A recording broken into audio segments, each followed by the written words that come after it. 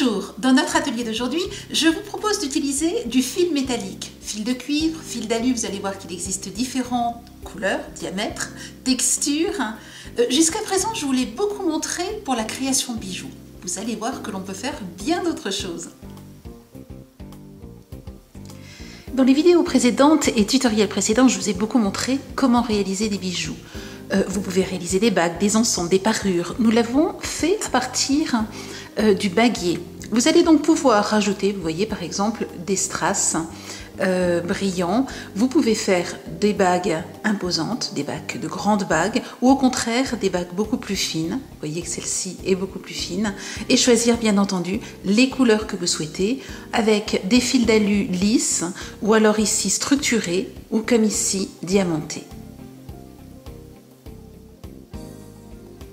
Je vous ai aussi montré que le mariage des différents fils de différents diamètres pouvait être utilisé pour réaliser de très jolies couronnes euh, en association avec de la porcelaine froide par exemple, ou alors du papier.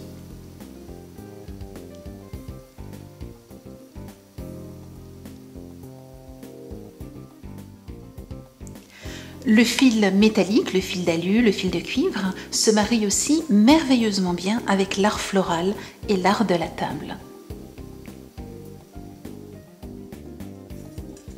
Dans les tutoriels associés à cette vidéo, vous allez aussi découvrir comment réaliser des noms, des mots que vous allez pouvoir mettre sur une porte s'il s'agit par exemple d'un prénom ou sur un tableau s'il s'agit comme ici d'un mot comme bienvenue.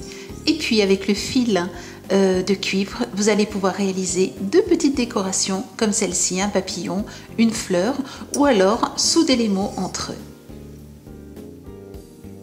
Le fil d'alu de millimètre, quelle que soit sa texture, permet aussi de fabriquer de très jolies fleurs euh, qui sont de très jolies décorations sur un mur ou alors dans un pot avec un ensemble. Vous voyez qu'elles peuvent se faire avec une seule couleur ou alors vous pouvez jouer avec plusieurs couleurs et ainsi réaliser des fleurs multicolores.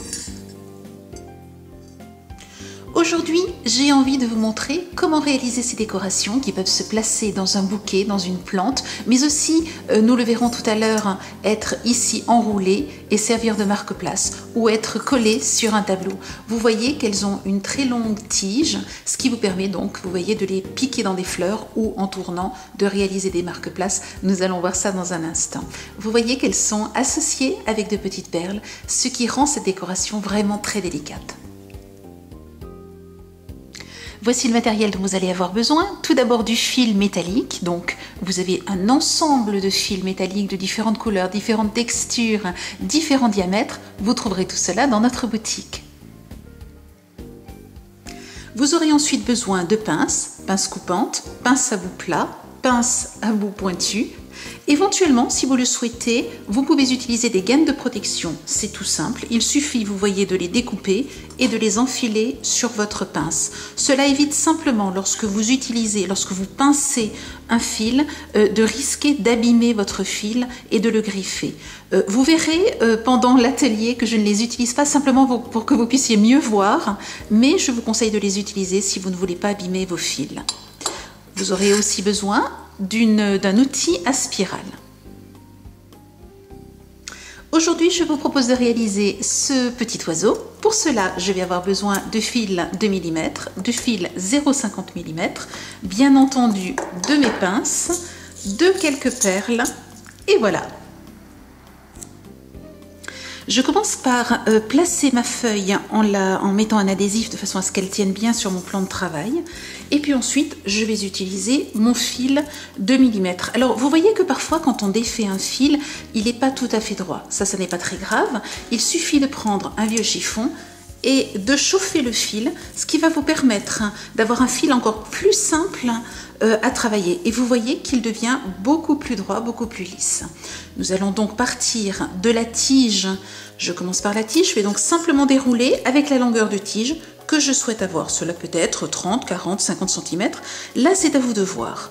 Je vais marquer ici simplement un pli de façon à voir que je vais partir dans ce sens-là. Je ne coupe pas mon fil, je vais le dérouler au fur et à mesure et simplement euh, prendre la forme du dessin.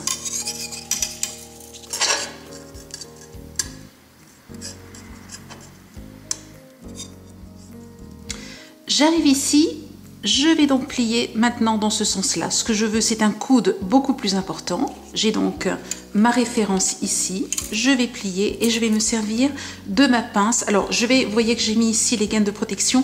Je vais les enlever. Je vais un petit peu abîmer mon fil, mais ce n'est pas grave. C'est simplement pour vous montrer plus clairement ce qu'il faut faire. Je vais donc venir ici écraser le bord, l'arrondi là où je voudrais que ça parte dans l'autre sens.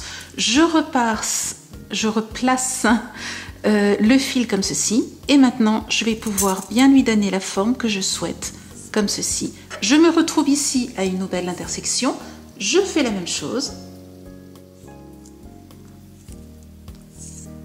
Je marque avec mon doigt l'intersection. Je vais ensuite plier mon fil, réutiliser ma pince et bien pincer.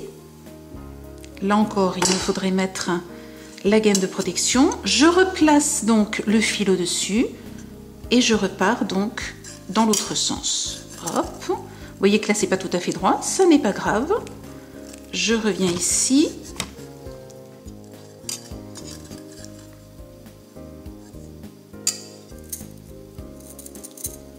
Je déroule mon fil et je recommence. Je vais pincer.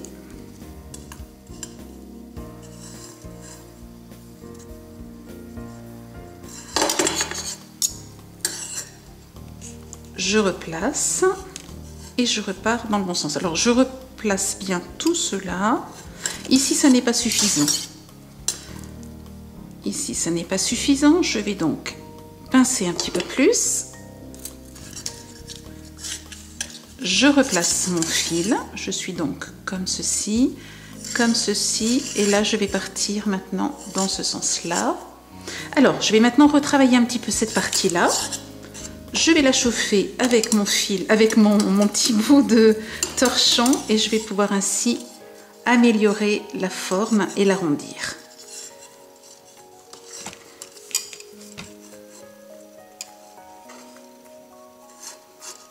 Voilà, ça, ça me convient bien. Je vais maintenant continuer avec l'arrondi ici. Je repars dans l'autre sens. Vous voyez que ça se fait facilement. Hop, on donne la forme du dessin. Je vais maintenant mettre une marque au bec et je vais faire comme les autres fois, je vais plier avec une pince.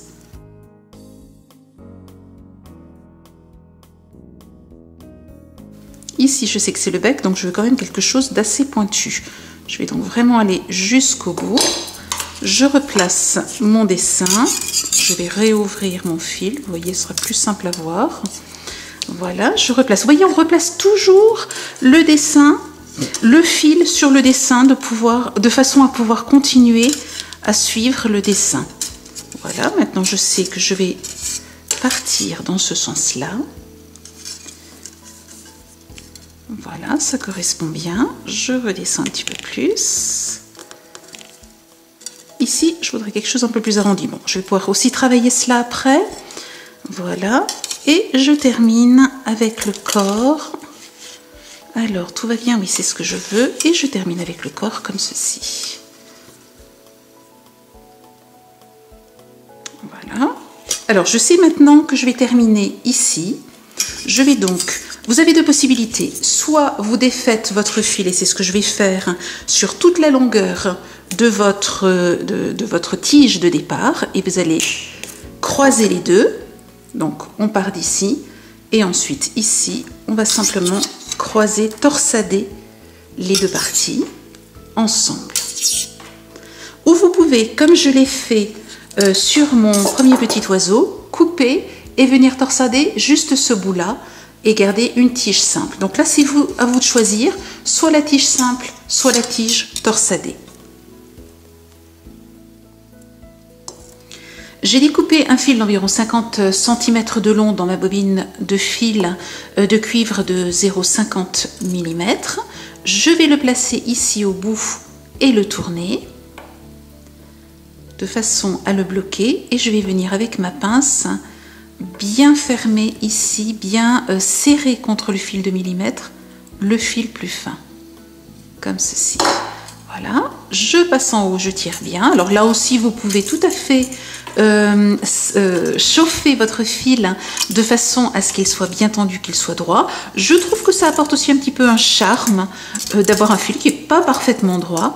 Donc voilà, là c'est à vous de voir ce que vous souhaitez faire. Je torsonne un petit peu, je repars dans l'autre sens je torsade là aussi et vous voyez que comme ça petit à petit on va entourer le fil 0,50 mm autour euh, du contour du dessin du fil 2 euh, mm. Vous pouvez donc choisir maintenant de garder euh, du fil sans perles comme je l'ai fait pour le petit chat, je n'ai mis les perles que pour les yeux.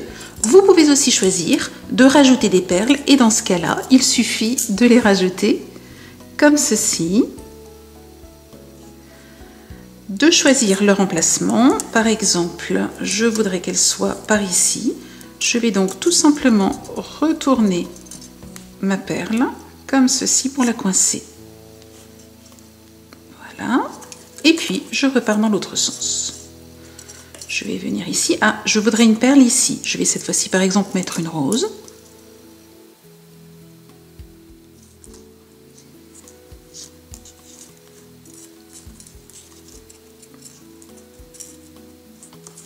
Vous voyez, je la torsade, je l'appuie sur elle-même. Et je vais ensuite simplement retourner ici.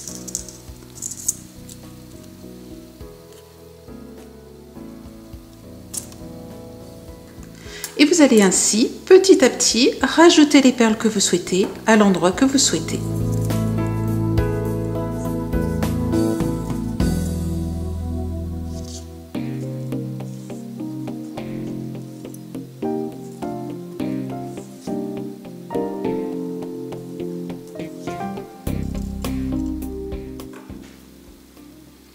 Lorsque vous terminez comme ici votre fil, vous voyez qu'il n'en reste pas beaucoup, pas de souci. Vous coupez, vous reprenez un bout de fil et vous continuez.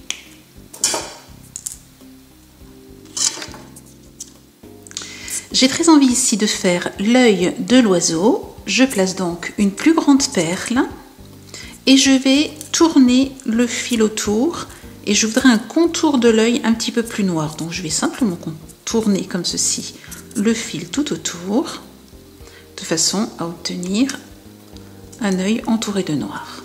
Je le fais plusieurs fois. Je tourne. Voilà, j'ai mon œil entouré de noir. Et maintenant, je vais simplement le placer. Je retends un petit peu avec mes doigts et je vais le placer exactement là où je le souhaite. Alors, nous allons mettre notre petit œil. Je vais partir dans ce sens-là, je pense.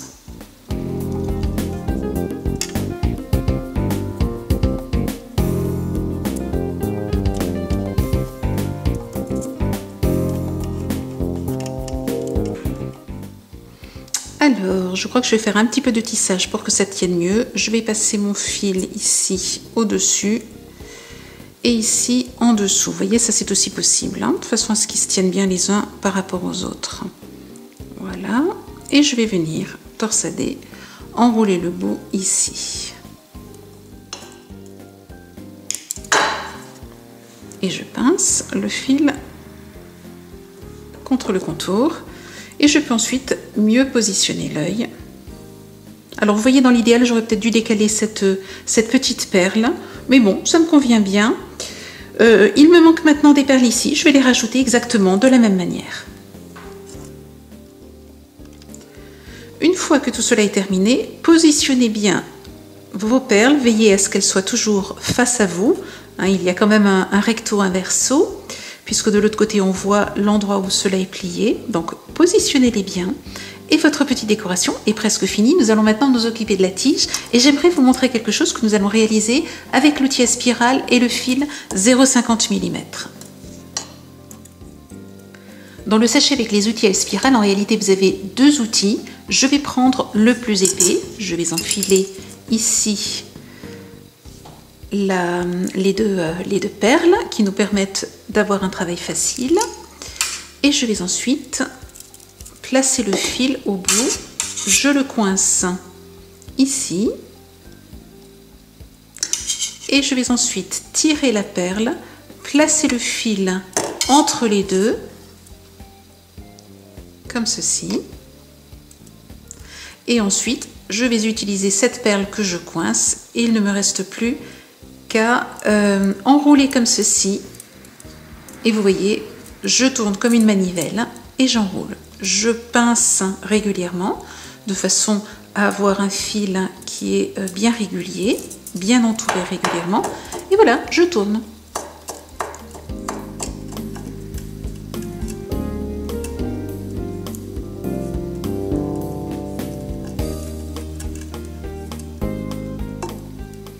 Voilà, j'arrive au bout. Je pourrais bien entendu en faire plus. Je vais m'arrêter là parce que je pense que j'ai assez. Il me suffit maintenant de couper le fil des deux côtés. Je fais très attention. Alors, ce que je fais avec ces petites perles, pour ne pas les perdre, je les mets toujours dans une boîte, puis je les mets dans ma boîte à, bijoux, euh, dans laquelle je range toutes les perles que j'ai. J'enlève, vous voyez, ma torsade. Je n'ai plus qu'à défaire ceci et ranger cela. Une fois que je me retrouve avec cette torsade, je vais un tout petit peu l'ouvrir pour venir la mettre ici. Alors, juste une chose, vous voyez que cette torsade, euh, ici, ma torsade des deux fils est trop importante pour pouvoir, comme ici, entrer euh, la spirale à l'intérieur du fil. Donc, si vous avez un seul fil, vous allez pouvoir entrer directement, vous voyez, la spirale à l'intérieur. Si par contre vous avez une torsade et que vous avez deux fils, ce que je vous conseille de faire qui est aussi très joli, c'est d'enfiler donc le fil ici de façon à le coincer. Vous le glissez comme ceci, vous l'entourez plus exactement comme ceci. Comme toujours, on veille bien avec la pince à bout plat qu'il n'y ait rien qui risque d'accrocher ou de piquer. Voilà. Et je vais ensuite entourer, mais tout en tirant ma spirale. Je vais l'entourer autour euh, de la torsade que j'ai faite. Et vous voyez que ça vous donne quelque chose de très différent euh, de l'autre torsade, euh, plus exactement de l'autre fil. Donc je tire et je vais entourer.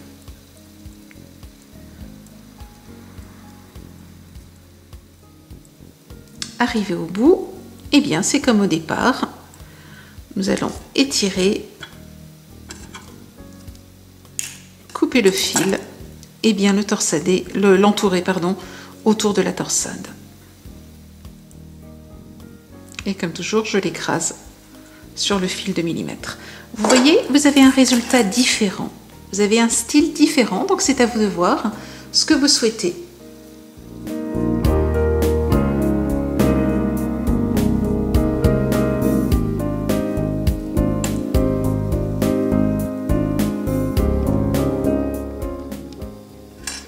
Aujourd'hui, j'ai euh, travaillé avec du fil noir et des perles euh, roses et crème, avec ici une perle blanche. Vous pouvez tout à fait choisir une autre texture de fil et bien entendu d'autres couleurs à la fois de perles et de fil intérieur-extérieur. Vous voyez ici deux couleurs avec un lilas et un argenté. Euh, la tige vous permet donc de piquer votre décoration dans un bouquet ou dans une plante. Ce que j'aimerais maintenant vous montrer, c'est que vous pouvez aussi utiliser cette décoration pour réaliser un marque-place. Pour cela, vous allez choisir la longueur du marque-place, vous allez le positionner comme ceci, et vous allez ensuite tourner de façon à avoir quelque chose de stable. Vous allez tourner le fil. Alors, vous pouvez vous aider de vos pinces, hein. c'est tout à fait possible et c'est tout simple. Hein. Vous pouvez, voilà, vous allez tourner comme ceci autour serrer un petit peu. Je vais serrer encore un petit peu de ce côté-là. Vous voyez que le fil se travaille vraiment très très facilement. Je tourne.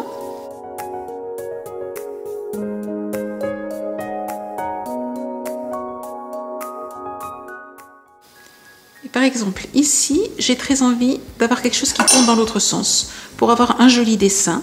Ce qui est important, c'est que cette partie-là soit centrale de façon à être bien stable et vous obtenez ainsi un marque-place. Il vous suffit ensuite de rajouter ici le prénom et vous avez un marque-place qui peut tenir sur une table.